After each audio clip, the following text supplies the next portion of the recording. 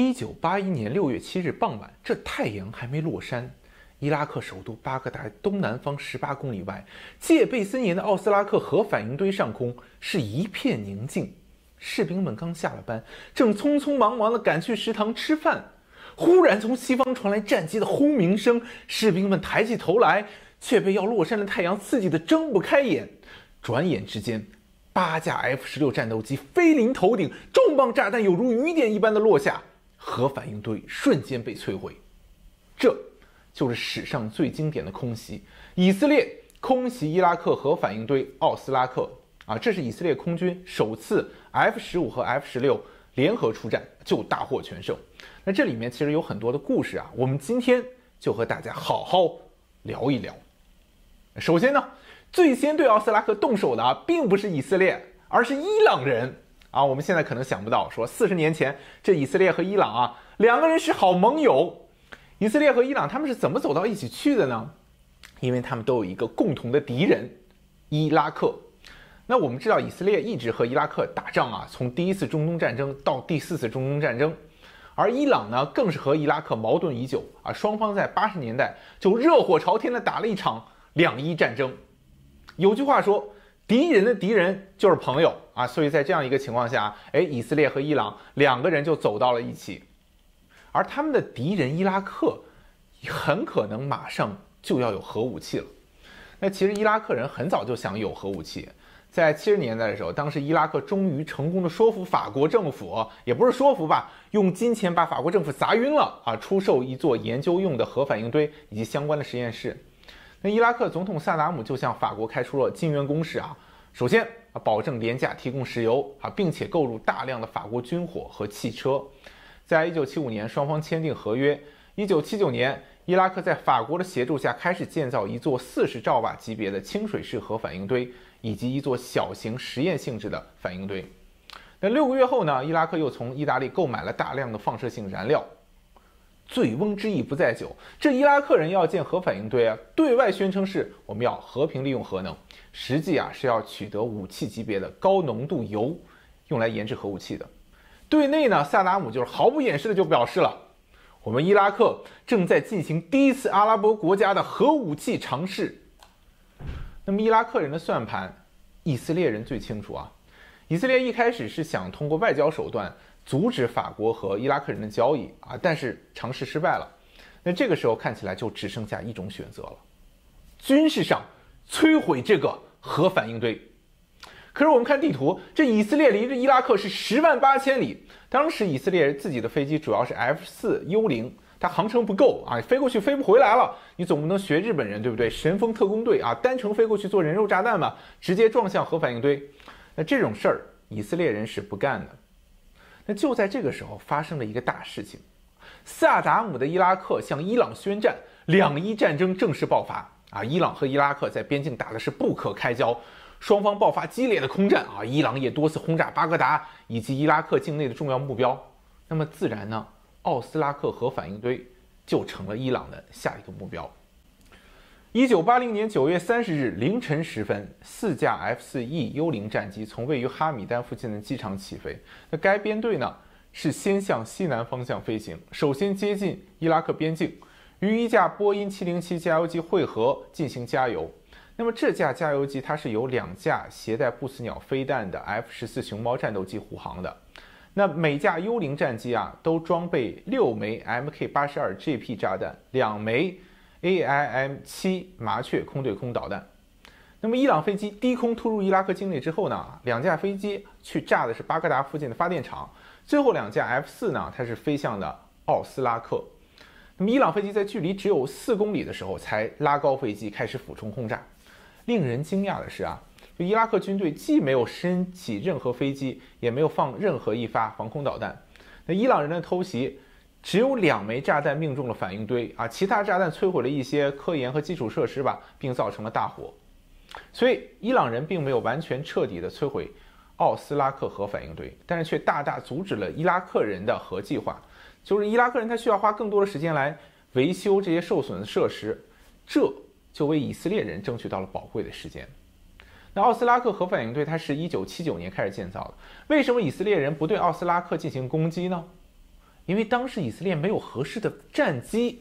我们知道以色列当时主力战机是 A 四天鹰攻击机，还有 F 四幽灵战斗轰炸机，那个时候性能已经比较落后，航程过短。另外呢，刚刚入役的是 F 十五，是专门执行空对空任务的。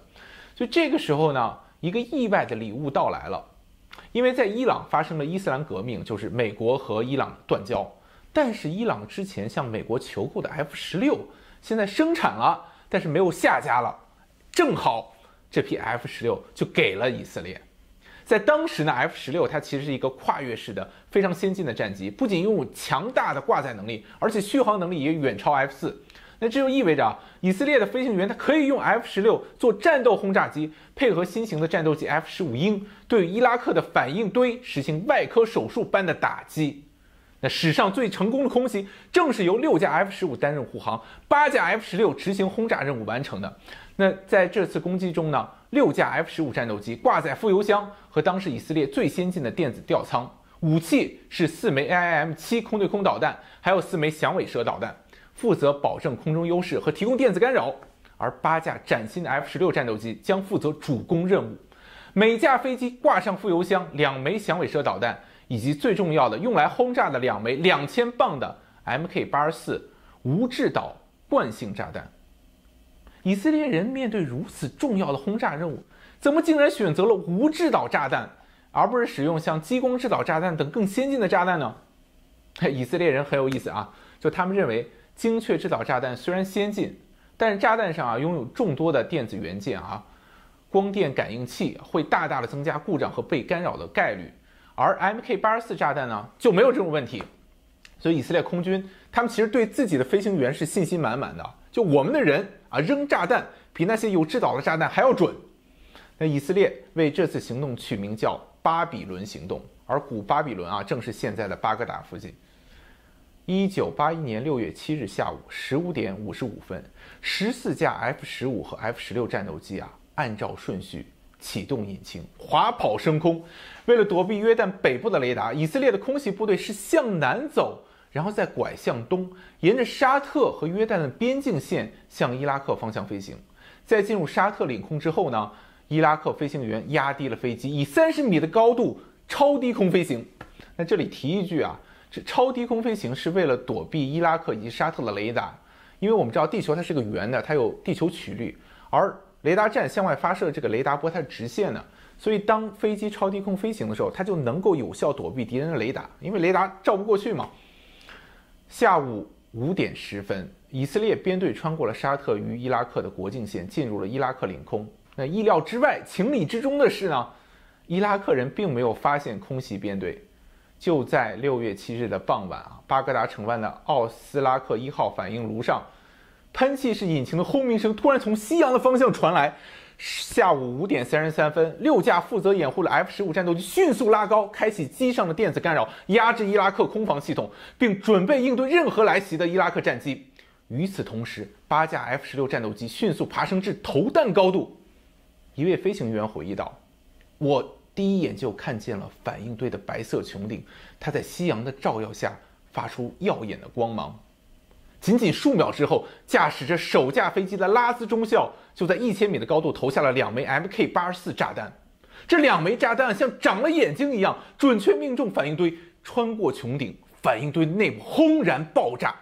在他的身后啊，另外七架参与攻击任务的 F 十六鱼贯而入，以五秒为间隔，在反应堆上空投下炸弹，再拉起飞机进行规避。